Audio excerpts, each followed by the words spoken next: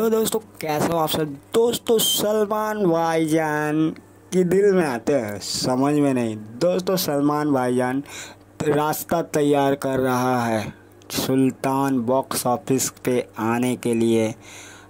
Box office का सुल्तान box office का रास्ता अपने तय करता है ना कि, और आकर करते हैं।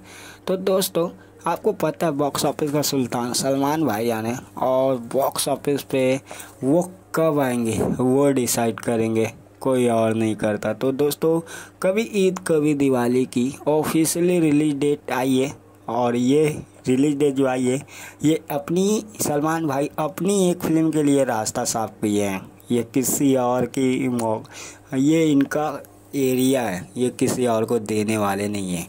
तो दोस्तों, बता दें आप सही को कि कभी ईद, कभी दिवाली की ऑफिशियल अनाउंसमेंट हुई है न्यू रिलीज़ डेट कि कभी ईद, कभी दिवाली, आप मनाइए सलमान खान और साजिद नाडियाडवाला के साथ न्यू ईयर पे। हाँ दोस्तों, तीस दिसंबर 2022 में आपको देखने को मिलेगी कभी ईद, कभी दिवाली।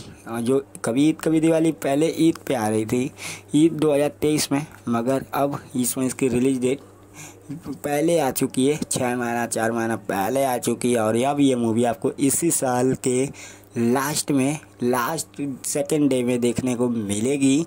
और बता दे दोस्तों, तीस दिसंबर को ये मूवी बॉक्स ऑफ़िस पे आ रही है और किंग सलमान भाईजान, फिर ये तीस दिसंबर को ये मूवी आएगी, पच्चीस तारीख को पठान आएगी, पच्चीस जनवरी को तो ये मूवी तीन के तीन मूवी ब्लॉकबस्टर मूवी होने वाले हैं।